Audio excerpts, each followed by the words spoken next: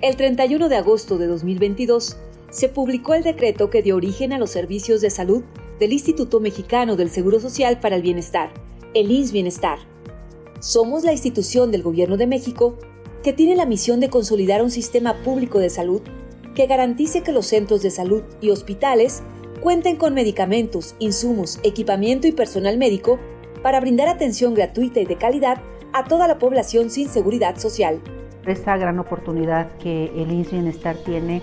de acercar a todas las personas usuarias de los servicios de salud una atención de calidad, una atención gratuita y una atención oportuna para todas las necesidades que tiene esta población con grandes rezagos a nivel nacional.